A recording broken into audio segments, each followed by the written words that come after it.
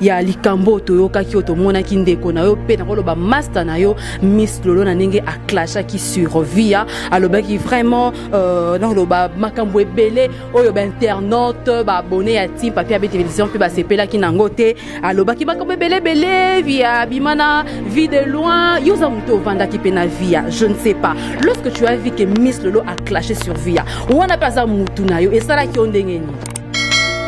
en tout cas namonaki yango mabe makasi eza lokola mpe misilola amake nga respect mpo na nini mpo ayebi ke nga na via tokabola bamoma malamu mpo nga nabombaka lisolo te misilolo nde azala ngai na ye tokabola bamoma malamu ngai mpe navanda chez misilolo topesana respect makasi ocomprendre toza na monde ya théâtre toza na bana mike toza na bamikolo fo toyeba obanganaka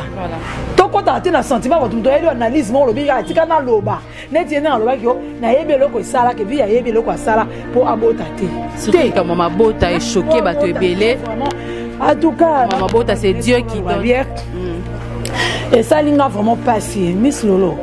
di boye oya ndeko na nga mwasi nalinga ko makasi makasi vraiment mais heure moko nasi nayebisako na obi totika nao toya bamama bana totika nao baja ofingaka na internet tosala mosala kofinga efuta biso eloko te ebakisela biso eloko te toza bamama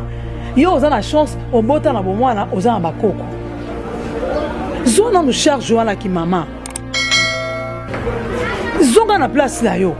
moto ya kointimide yo te moto akoso te ke loba boye Bosala bo pozwa buzz te, buzz ezalaka kaka na kofinga te,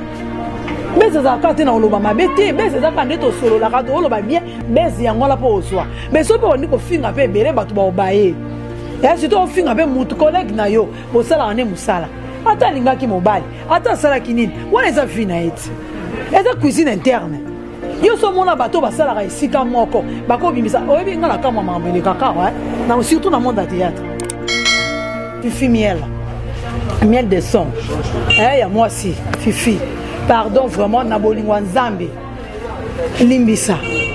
limbisa makambo nyonso eleki ayoki na ye deja ndenge osi olobi eza na ntina te bokendaka nde badeba mpo nga moko mpe naza na kolinga te ke miss lolo abebela abebela nani via esimba te mpo aza maman mm. na olinga te vraiment en tout cas pardon na bolingo ya nzambe tolingi kimia en tout cas vraiment to enterre makambo mm.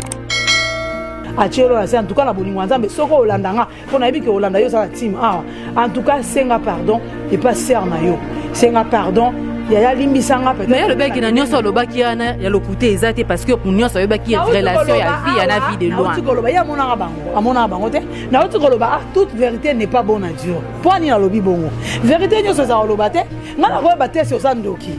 mais nakoya ofanda na internet te mpona yesa bato ketesi aza ndoki nakonfirme yango mpo ntango ngai nakoleka na biketesi aza ndoki bato nyonso bakondima mpo bayebike ngai naza ya yo ngai aza na problème na tendresse te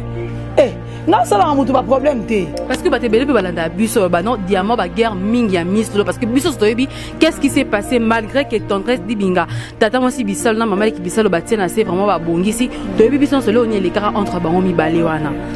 diamant akotaka beaucoup plus à s'investisa na bagueur ya miss lolo nakota lisusu te okota su te nakota lisusu te nabaki ya nio tobandi 2022 oyo nakokota likambo ya motu te nakokufa likambo na nga moko eh, nakokota likambo ya motu lisuute liboso na manda okota eh, kimona mama me namoni kimona mama ngo mpe ko mosusu ekomima nga na liwa na nsima mwana mama ngo ye mosusu akende na nzela mosusu eh, donc osala bien vraiment te nakomi kokanisa ko se concentrer quoi na mamu na nga moko ke ya bato nga nakimaka mutu te nayebisaka bi nga na soldat na mwasi ya makasi nakimaka mutu te epuis naa na problème ya mutu te Désormais à Kinshasa, la modernité a un nom. Exodus. Pour rendre inoubliables vos manifestations. fêtes, réunions ou concerts, Exodis vous offre de grandes salles polyvalentes avec des décorations et dispositions sur mesure, un parking interne sécurisé, groupe électrogène de la dernière génération avec un personnel professionnel qualifié et expérimenté. À Exodis, vous y trouverez également de bureaux à louer pour les artistes, une salle de répétition pour passer vos séjours dans des conditions exceptionnelles et à des prix défiant toute concurrence. Exodis vous propose des appartements luxueux, climatisés et équipés pour vos constructions, bâtiments, immeubles et autres dans des normes exigées avec plus de sécurité et assurance. Faites confiance au groupe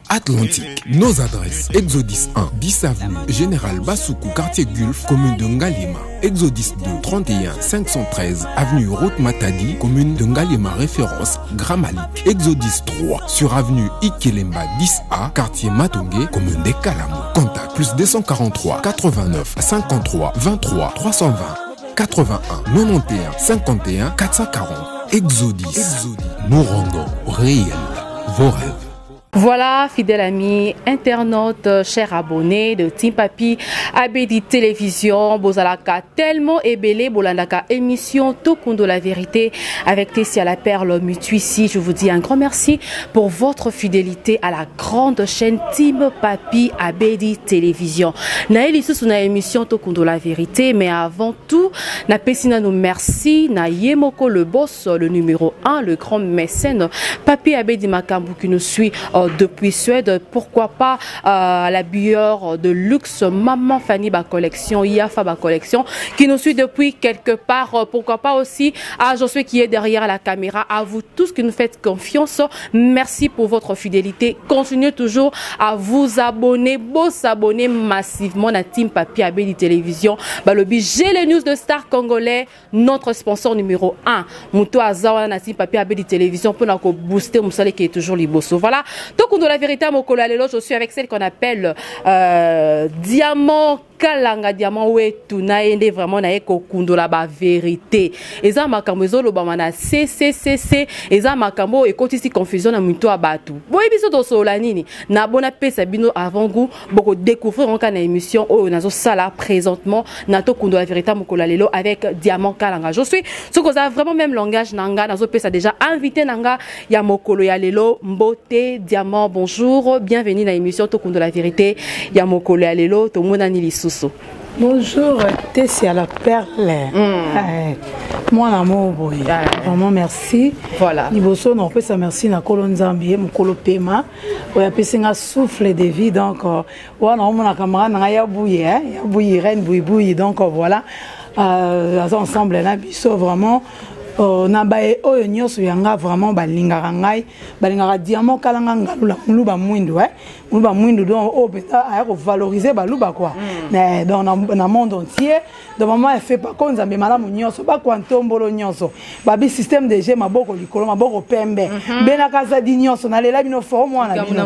likambo na moto te ah, donc nalela bino fort donc moluba solo ya jeu te donc naza wana natesi ya donc na team nazali merci voilà na team ozali kitoko ne elengi diamant kala ngo ne ensemble mais nalingi vraiment tosola ne nalingaka émission na ngai tokundola la vérité mhm. naye vraiment koluka parce que tokundola la vérité eza makambo ezoleka na cc eza makambo ekotisi confusion na mutu ya bato na mitu ya bato mais avant to évoluer tolandaka biso nyonso na ba page facebook na ba youtube video ya ndeko na yo collègue na yo euh, queen mother via oyo bato ebele mpe na monde entier diaspora totalaka ye tolingaka ye tomonaka video moko ecirculaka adeploiraka vraiment comportement euh, ya bino bandeko na ye na monde ya théâtre azwa ba blessure ebele euh, jusqu'à tel point que ba maladi misusu akoma nango na nzoto na ye eza vraiment bandeko na ye ya théâtre baloba ba du n'importe quoi bakosela ye bamakambo basalisa euh, réputation na ye ti na niveau ecréele ye maladi lorsque otala dans nos video wana parce que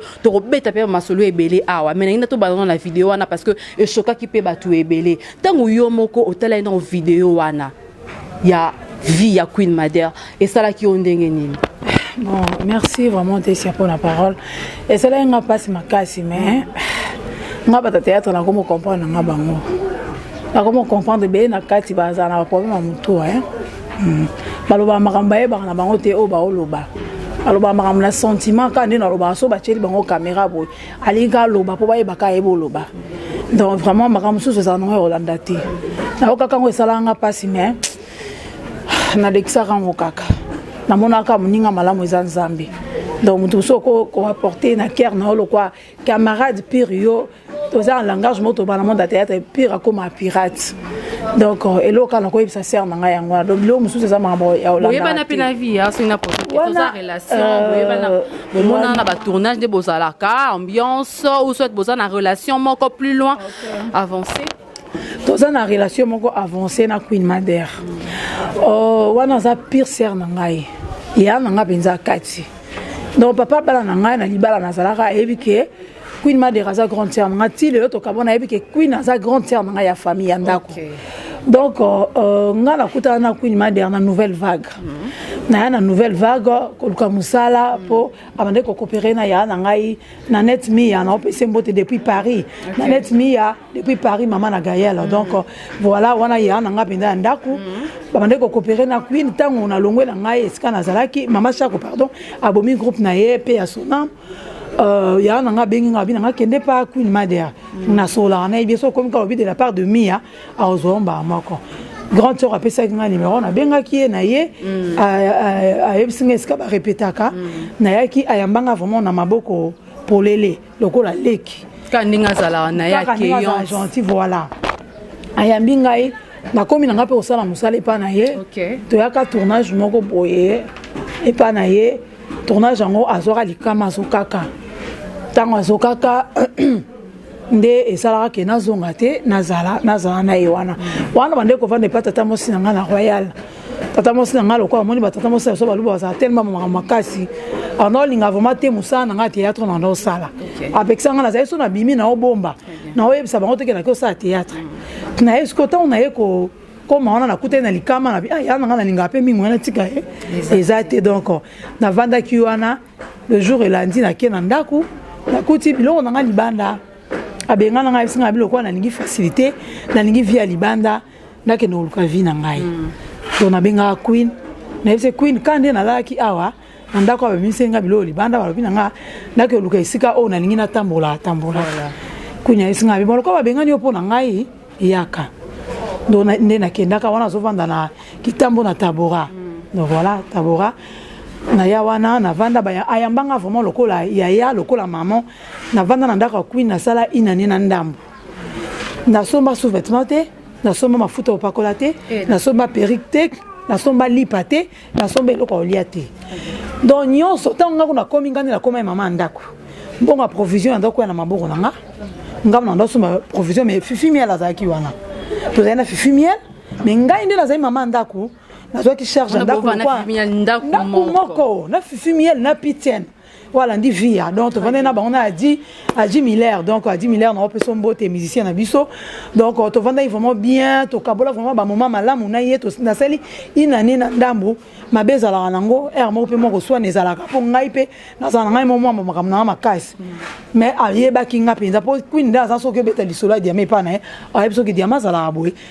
yama azalaka boye donc abanda omaîtrise nga kaka ezali mpe so likambo eza mpenza entre ngai mosusu na fifi mm. akoya mpenza aza na katikati ezali te kaoya mpo fifi aza ndeko ne azwa part ya fifi te ozalaki impartial oh, yaya aoya mpenza akoti na katikati ah, yo nayebi yo diama mpe nayebi ye boye te aza ndeko na biso so moto deja avandi na kati ya bino aosupporte bino aolambela bino aosala boseke aza ndeko alors nalingi te apesi conseil atie kimia nali mpe makambo akanda te binemi eza te tozongani na biso nde tozalaka parce que azali lokola maman nazalaki ye moko mpe so naza na problème nando olinga mingi kopartage na ye donc mm. vraiment tokabola bamoma malamu famille na bango ebele bayebi nga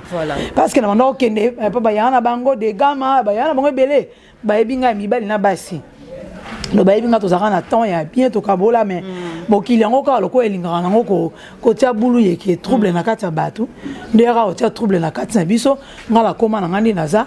na, na garda bande na ngai bango mpe bavanda mpo nalinga te ke bato bamona ngai naleki nalobi ke kui nasala ngai bobie fifi asala ngai bobie likambo elekela ngai boye na kati ya ndako wana ye mosusu nde esala ngai bo te tozala na mama malamu tovanda na ye na libala nazwela yango na ndako ya queen nazwela libala na ndako ya queen na esengi ye nzela ngai abi nakokei na ngai ayesi ngai abi oza mokolo oza mwana mokie te okokei na yo alibera ngai nakei mobali na ngai beke ye queen abandaki kotala ngai na ndako na ngai libala okay. so navandi mpe na boye mpe yande yaya yaka aye patali biso tovandi esili mpe tobimi na mwa coin mo eloko mo boye biloko mwa bongo voilà. ti ngelokwa ngai azali na ngiringiri ye mpe aye kozwa ndako ngai azali na bondo mm. aye kozwa ndako na euh, avenir yango nini euh, nzombo okay. aye kozwa nzombo ngai azalaki bondo mm. sayo birmanie mm. yaye kozwa ndako na nzombo euh, 24 eh, Euh, sayo mm. donc tokomaki eh, koya mpe mosusu tokoki passe journée kuna wana nanu ngai nabotaki te na bana mobali na ngai mm. toke kuna tovandi topasse mpe journée journée mobimba abanda ah, mpe kokabola te ke bana na baza bana mobali na ngai azwaka bango te so naye mpenza bayaya bosombela bana ya ji bolamba ko bana balia balambi mpe tolie toni toke mpe akaboli mpe mwana mwa bana mwa difran difran donmama nyonso ndenge azalaka voilà donc ye otanda obenga bango bakoko na ye bakoko na ngai baye otala ngai faut bazala à l'aise donc okay. tozalaki na batana ya makasi mpenza oyo emarkanga etikala na vi na nga mwana mobali na nga asalaka crise na butu mm. na butu wana nabenga ye ase dérangea tozalaka na hôpital moko ezalaka na coin ya niangara sur uh, sayo mm. tozalaka hospitalise wana voilà. kui na manda oyana chaque jour mpe aoyelanga miloko chaque jour lokola maman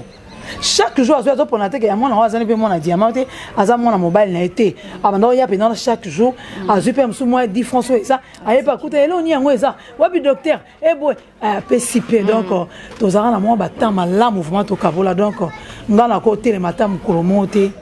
nazange botosi mm. nakolanda yo vraiment olobi comment dire basouvenir moko positive à l'égard ya queen mader malgré que y avait toujours place bato baza toloba yango que makambo ezangaka te mais osouleve juste basouvenir ba moko vraiment oyo emarkaki yo olobi bovandaki plus d'une année donc c'était déjà la famille c'était déjà la famille mais eloko nini esalaki que olobaki kobimi lorsque ongoke libala na yo donc bokabwana na bino sans problème sans problème naya na nga na libala ndenge ezalaka ekoswana mpo ye ozalaki artiste ye mpe artiste ah, ye azali présidente ah. ya groupe mm. eh, donc nakenda na nga ntango nakei aye kosengela nga nzela mpo mobali na nga abi na ngai nayaka ka répétition mm. mais nayaka mwa retard na sisi osala mosala na ndako na nsima na ye mm. donc nakomeli na nga koya ntango bato bandomona tellement apesa bolingo ebele vraiment epa na ngai bato kaka tozalaka na bango mwa diabo mo ekotati mm. olaka eh, diama alobaki boye diama seka nde ezalaka donc namonaki buzoba wana ekomaki koleka mingi nkombo na ngai ezotangama trop mm. aussi longtemps naza marie nde nayaki koyebisa na bikwini antuka na oya na ngai lisu te mm. navanda nano zala na bango te ngai na banda na okala bango ngai bi te zala na na bango biso bango mona lokola natyaka bango bakale donc bozalazala na bango nde natikala na ngai kwini mai nde nouvelle vague ezala ndako na ngai so lelo vraiment nalobi ke kwini na oya mpo ngai mo nalingaka te mpo ye mo azalaka Oh, yango yo oyaka te baninga baojoue ah, bazotourne mm. yo oyaka na yo te ngai abia queen na oyaka kaka ayebisa ngai abi soki olingi oya place na ezalaka porte na ngai ezala polele mpo na oyambo mpo oza mwana ndako donc naza mwana ndako preuve anike bamatanga na bango nyonso bazala nango ngai nakendaka nakendaka lokola actrice te mai nakendaka lokola famille mm. donc famille so ngai na ye naza na privilège nakokota na ndako nakosala oyo nyonso nalingi donc eza pale na ngai voilà eza pale na yo nouvelle vague eza ndako mpenza oyo comment okoki kose sentir mopaya te eza ndako place oyo mama na yo azali mais eloko oyo esali ke nga vraiment na équipe ya timpa mpe abedi télévision tokita sur terrain koluka eza par rapport euh, ya likambo oyo toyokaki oyo tomonaki ndeko na yo mpe nakoloba master na yo miss lolo na ndenge aclashaki sur via alobaki vraiment euh, nakoloba makambo ebele oyo bainternaute baabone ya team papier abeti vision mpe basepelaki na yango te alobaki makambo ebele ebele via abima na vie de loin yo oza moto ovandaki mpe na via je ne sais pas lorsque tu as vu que miss lolo a clashé sur via wana mpe aza motu na yo esalaki yo ndenge nini ngai nde naza boye nayebi te yaya moko te ya théâtre ngai na telema ya mosusu nayoki analyse na ye na ndenge mabe bo na ye mpe na ye kosala natie bacommentaire aza te hmm. aza na ye te nalobaka na ngai ngai aza na makambo oyo nalobaka oyo eza naza na ntina koloba me makambo naza na yango na ntina koloba te na koloba te mpo napesa bato chance te ya koloba mabe na ngai donc nazalaka mpenza nabombaka bato mingi na motema nde mama na nga abanda oyebisa nga makila monoko so nakutani na yo navandi na yo tosali mosala moko nakomisaka bandeko wana mm. lokola mashe ya momenu nde biso tobenga yango makila monoko mosusu nazobwaka mosusu naosala nini nazomela nayebaka mpenza komela bato donc mpo na nga En tout cas, namonaki yango mabe makasi eza lokola pe misilo la manque nga respect. Pona nini? Po ayebi ki ngala via to do to kabola ba moment malamu po nga na bomba lisolo te. Miss Lolo nde azanga na ye to kabola ba moment malamu nga pe na vanda chez Miss Lolo. Na somba lipa te, na somba ya olia te, na tongo kuta zayo la musabana na ye, aola musabango lamuka bosa ya diamant za problème estomac. Soto comme tu disais aleta au moins oboya olia esali mabe awela ye te me awela nga mhm. tozalaka na batemp malamu tokabola mhm. soki lelo mokili oubien bato bakolingaka engana misi lelo tokabwana mhm. mais nakozala ingrate te ya oleka na émission nasalela misi lelo émission alors euh, nakolobaka tobanganaka topesana respect makasi ocomprendre toza na monde ya théâtre toza na bana mike toza na bamikolo fo toyeba obanganaka tokɔtaka te na sentiment bato moto oyeli analyse moko olobi kaka tika naloba neti ye ndenge alobaki yo nayebi eloko esalaka evi ayebi eloko asala mpo abota te telikambo mabota echoke bato ebele en tout cas mabota c'est dieu qui donne mm. esali nga vraiment mpasi miss lolo ndi boye oya ndeko na nga mwasi nalinga ko makasi makasi vraiment mais heure moko na sina yebisa ko na obi totika na toya ba mama bana totika na obaje ofingaka na internet tosala mosala kofinga efuta efuta biso eloko te ebakisela biso eloko te toza ba mama yo oza na chance obota na bomwana oza na bakoko zwa nanu charge wana kimama tya zonga na place na yo moto ya kointimide yo te moto akoso te ke loba boye Po sala bo po zwa buzz te buzz ezala kaka na ofinga te buzz ezala kaka te na oloba mabe te buzz eza kaka nde tosololaka tooloba bien buzz yango wana po ozwa mais soki pe obandi kofinga pe ebele bato baobaye ya surtout ofinga pe motu collègue na yo bosalaka nde mosala ata alingaki mobali ata asalaki nini wana eza vie na ye ti eza cuisine interne yo so omona bato basalaka esika moko bakobimisa oyebi ngai na kamwa makambo elekaka awa surtout na monde ya théâtre mm. yo so omona place tozala na bainternet biso oso omona inio do messi johnson baswana voilà, oso omona oyo oh, asali crik na ye bomi eh, nani rita dominique ou bien eh, nani euh, eh, beliot wana banani bato ebele baza na baguerre na bango mais ata mokolo moko te tomona guerre na bango ebima na internet eyake oyo oh, alobi na buntu boye oyo oh, alobi na buntu boye mpo na ngai moto abota abota te namona na ngai cimetière ya bato oyo babota te na baoyo bazanga kobota te ozo comprendre biso nyonso tokendaka kaka molongo moko bakundaka biso esika moko tokutani na sa mabele do eza na moto te ke olokwa ngai na bota fo akunda ngai na kati kuna na paradis mhm. na mapata te oubien lokwa ngai nabota ngai fo nazala na espace na ngai eza likolo eza te heure moko omoni bafrançais baba toute vérité no pas bon na dio bavérité nyonso ezalaka koloba te nakozala na vérité ya ndeko na ngai ya eric ndenge avandi wana ngai naye kaka nabimisi tosalini makambo moko boye ngai mpe naye nabandi koloba ngo na bandenge moko boye mpo nasambwisa ndeko na mpo nazwa nini amakila ah, monoko na ngai nakomela mosusu mosusu na obwaka toyebaka mpe heure moko tozosala babiloko moko boye mm. eh, oyo eh, ekoki koproduire biso eloko te ya la longue ok ezokitisa biso nde boye eza malamu te vraiment tochange nazo nazo en tout cas vraiment fifi miel miel de son eh, ya mwasi fifi pardon vraiment na bolingo ya nzambe limbisa limbisa makambo nyonso eleki ayoki na ye deja mm. ndenge osi olobi eza na ntina te bokendaka nde badeba mpo binga moko mpe naza na kolinga te ke misi lolo abebela abebela nani via esimba te mpo aza maman mm. na olinga te vraiment en tout cas pardon na bolingo ya nzambe tolingi kimia en tout cas vraiment to enterre makambo oyo mm. lisolo nanu mpe esila tobeta masolo mosusu mpo esala bien na bolingo ya nzambe nayebi ke ozalaka no motema monene mais akende nango bien ye alobi makambo éducation ye vraiment akende nango na kimia fifi miel ah, atene bapropos moko ya mabe te afingaki te akende mosika eza na bato mosusu mm. osaleli émission oke nango na bandenge moko boye mais omoni bato babomaka biso bato bo bino nde botyaka batitre otye titre ntango otye titre na wana na bato oyo batransferaka baémission azwi émission na ye atransfere yango epa motu na commentaire motu wana efala boeskize nga motu wana efala azwa temps ya kotala azwi temps ya kotala te mbango ya kosala émission ozo comprendre eza malamu te misi lolo mpe atia na se vi aza yaa na yo aza ndeko no ya mwasi oyo olingi te basala Nani Gina oyo olingi te basala ya mwasi kolinga pe te eh, ba basala yango epa osala yango mpe epa motu mosusu e osala bien na bolingo ya nzambe to atere na makambo si saja osenga pardon senga pardon kigrodo esala eloo te mm. pardon eliberaka bato omoni patron pardon wana osenga motu pardon ata ayoka ye mpasi me ntango avanda atali kaka bi bon a ah, ndeko na ngai aleki na ngai natyaka na se atyelo na se antuka na bolingo ya nzambe soki olanda ngai mpo nayebi ke olanda yo oza na team awa en tout cas senga pardon epa sœur na yo senga pardon yaya limbisa nga mais alobaki na nyonso alobaki wana ya lokuta eza te parce que nyonso ayebaki relation ya vie ya na vie de loin nauti koloba ye amonaka bango amonaka bango te nauti koloba ah toute vérité n'est pas bonne à dire mpo ani nalobi bongo vérité nyonso ezala koloba te ngai nakoyeba te si oza ndoki mais nakoya ofanda na internet te mpo nayebisa bato ketesi aza ndoki na confirme yango mpo ntango ngai nakoleka nabiki etesi aza ndoki bato nyonso baondima mpo bayebiki ngai naza ya yo bongo te eh?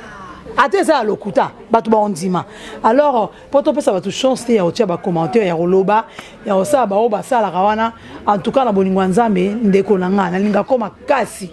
yo oza makila monoko na ngai malgré bato balobi mwa banungunungu o oh, diama amonani te na matanga mis lolo seke rando ezali yo okende yango presseur eza ah, émission émission bakendaka yango malembe malembe Étape par étape, mais ozo brûler ba étapes. Limbisanga kasi. Euh. Limbisanga na osa. Donc conseil na ko pese ka yango. Voilà très merci à toi Diamant, mais je demanderai à tous nos abonnés de Team Papier Abedi Télévision vraiment beau continuer ko s'abonner na Team Papier Abedi na chaîne Abisso, na chaîne Abino, beau partager ba émission, beau commenter, surtout ba remarque na Bino esalaka biso bien tozokoba kaka na émission yo nayebisaki okeke obrule baetape te parce que ya aboire ya manger ici mais bato oyo mpe balandaka bino mpe bayebi bino bayebi relation na miss lolo base pose baquestion ndeni tomonaki ye na matanga ya petit frère akufaki toyemoni na anniversaire wana aza de tout l'état miss lolo nde nini na matanga oyo neveu na biso abakuka otaki kotika biso en tout cas famille mobimba ya miss lolo ezalaki na matanga tolelaki ensemble na ye j'ai le news de star alelaki na ye papi abedi ye moko makambo biso nyonso tozalaki tolelaki mais tomonaki présence ya diamant kalanga te ah. qu'est-ce qui s'est passé vraiment eloko eza nango te très bien eloko eza te Euh, miss lola ayebi ndenge ngai na ye toza mm. donc nayaki te contenu ya problème moko nazali nango ye moko miss lolo soki aolanda nga ayebi problème oyo nga nazali nango esalaki ke naya naya matanga te donakime présence ya tendresse dibinga te parce que tomonaki tendresse azalaki wana ah, tata mwasi ya bakuka azalaki wana bien présente yaya mm. nakima présence ya, ya, ya tendresse mpo tendresse akobeta nga kuna oubien tendresse akosala nga nini nde nakokima présence nga tendresse towana problème te nga nakutana na tendresse na matanga biso yo yaka ti nakutani na matanga esika toyaki ovanda na président na ngai masebe lelo masebe na opesi mbote toyaki ovanda na basamba na bato ebele tozalaki wana basemence tovandaki na terrasse oyo toyaki ovanda wana tokutani na tendresse bazalaki wana tovandi na bango bonga navandi boye mesa moko kami bango bavandi mopanzi onga navandi mopanzi ngai aza na problème na tendresse te e eh, nga osalaka moto ba problème te parce que bato ebele mpe balandaka biso oyo bano diamant mm. baguerre mingi ya miss lolo parce que biso so toyebi qu'est ce qui s'est passé malgré que tendresse dibinga tata mwasi bisalo na mama leki bisalo batie na se vraiment babongisi mm. toyebi biso nyonso leo ni elekaka entre bango mibale wana diamant akotaka beaucoup plus à s'investisa na baguerre ya miss lolo nakokota lisu te oh, okota su te eh, nakokota lisu te nabaki ya nio tobandi 2022 oyo Nakokota likambo ya mutu te nakokufa likambo na nga moko eh, nakokota likambo ya mutu lisusu te liboso nde okota mpo ya nini te liboso na manda okota eh, kimwana mama me namoni kimwana mama ngo mpe ko mosusu ekomema nga na liwa na nsima mwana mama ngo ye mosusu akende na nzela mosusu eh, donc et osala bien vraiment te nakomi kokanisa ko se concentrer quoi na mamu na nga moko ke ya bato esanga bien mm. ok sikoyo na matanga tokende nango kasi olobaki ke ozalaki na problème oyo oh, ye moko mpe ayebaki problème yango nini parce que na oyo ya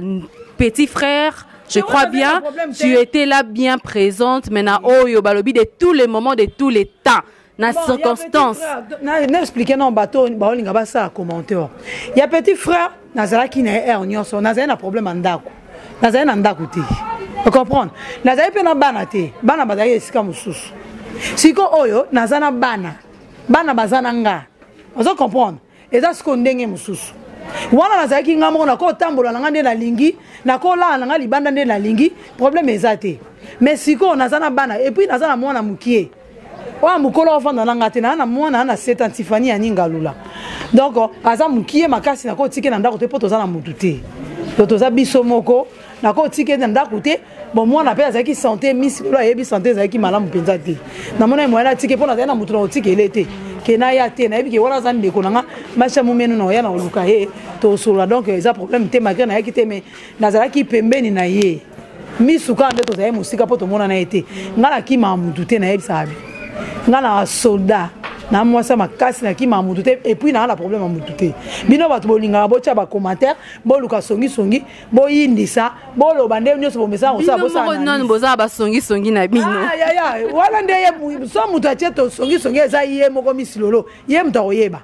soki moto atie songisongi aza pembeni na ye moto akoyeba me ngai nayebi ke ngai na misilolo toza na problème te oyo tozowela mm. aza ndeko na nga famille wana nyonso eza famille na nga donc navanda tolia tomela donc voilà wana famille na nga bana nyonso talaka ngai nazala na matanga misilolo aya te me mwana ya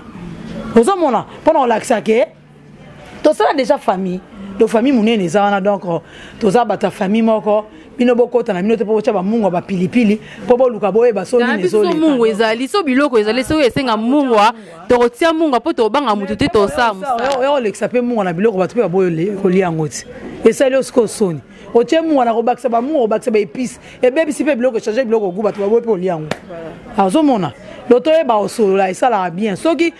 likambo oyebi yango te kolinga vraiment te ke osalela yango analyse oloba mpo esala bien te donc voilà nasuki wana ah, donc na bato mpenza oyo bande ko se poser ba question comment se fait-il to mona ki eh, diamant kalanga te et pourtant to mona ki na ba image anniversaire donc bozui vraiment réponse na bino je crois bien que malé malé mais tozo koba vraiment na suka ya émission na biso petit frère na yo collègue na yo dacosta aote kosala mariage euh, religieux na yo impression na yo réaction no par rapport à mariage religieux ya dacosta le coach euh, vraiment nazwi mpe atana ya kotala yango te mpo na euh, téléphone nde ezo compliqué nga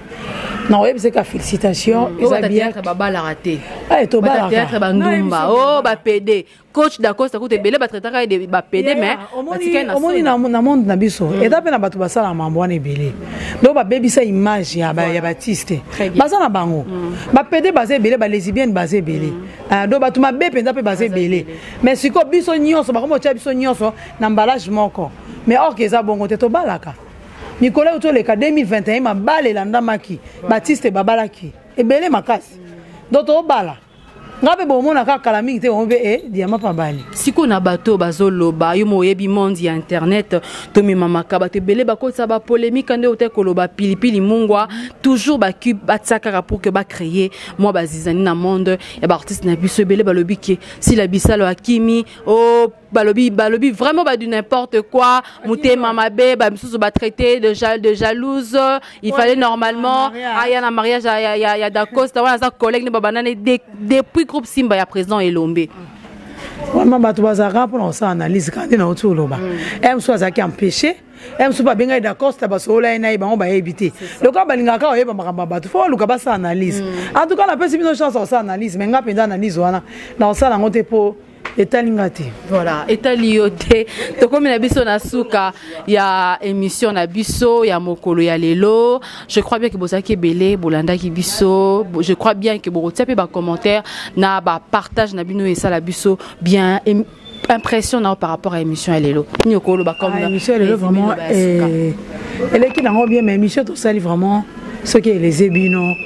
babi bolimbisi kaka eh? tolobaka kaka verité ngai nayebisa bino ngai nanga mokwa ntombolo nanga mwina kazadi okay. nalobaka nanga verité ngai mpenza nakotika koloba verité ti mokolo nzambe akozwa pema na ngai mm. mais lokola naza ya nzambe naya kaka na pema voilà. na bandoloba verité ngai azala na parti pris te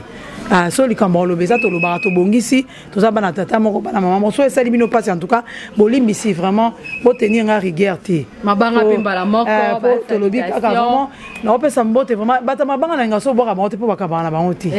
bakabaka te donc mingi mingi vraiment mbote na ngai na vie na ngai adriche ya moto maître ah, vie petit donc pire vie petite na ye donc bon séjour à kine donc adriche ya moto maître merci vraiment na nyonso vraiment papa talaka yo nde oraisonnaka diamant otalaka diamant mbote mingi vraiment na Vieux na nga ya ngiringoto eh, donc vieux na nga ya ngiringoto ambassadeur Raymond Singa libulu ezanga suka mbote mingi na Eric Mbaye Eric Mbaya et Yadema Action TV donc euh, mbote mingi na bato nyonso balingaka ngai euh, na net miya kadiza mbala radar euh, mobala pembe mon général na Paris mbote mingi vraiment na Beni Kapinga Gazos à chic dame depuis Afrique du Sud mbote mingi vraiment na Bibiche Kabongo Judith pardon Kabongo depuis quelque part donc mbote mingi na bobo trésor na bato nyonso vraiment balinga ngai nalingaka bino na euh, bana na ngai grâce ya kinzolani tifani aninga lula oh, bato nyonso baza balingaka ngai camarade na ngai samata mushi eh? eh, mbote vraiment yango wana donc aosala mosala nde kitoko ezomonana na miso ya bato balobi